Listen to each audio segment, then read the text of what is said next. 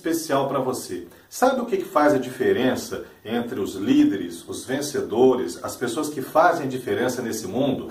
É a voz de comando, o tom da voz. A voz tem um poder. E o que, que acontece? A gente precisa aprender a usar a voz para ser persuasivo, para ser convincente, ser verdadeiro em tudo que a gente fala. Não adianta, por exemplo, você que é gestor, diretor de uma empresa, simplesmente dar uma ordem para os seus funcionários, a sua equipe, se você não tiver uma voz de comando, um tom de comando que faça com que os seus funcionários absorvam o respeito e a autoridade que você tem investida. Ou seja, é preciso saber persuadir, é preciso saber conquistar. Ninguém, por exemplo, vai conquistar um grande amor se não falar com amor, com delicadeza, com carinho, não tiver algo diferente na sua voz. Ninguém vai ser engraçado se não tiver aí um tom de comicidade, um tom de alegria no que fala. Ninguém vai vender um produto se não tiver é, muito entusiasmo, muito gás naquilo, mostrar que realmente é o melhor produto que está vendendo ou serviço.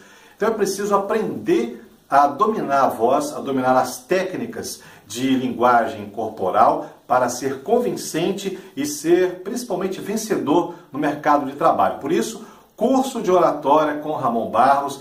Acesse agora ramonbarros.com ou ligue para a gente para você fazer parte dessa turma em Cachoeiro. 3521 6144 WhatsApp DDD 28 99909 8981. Eu espero você no topo do sucesso.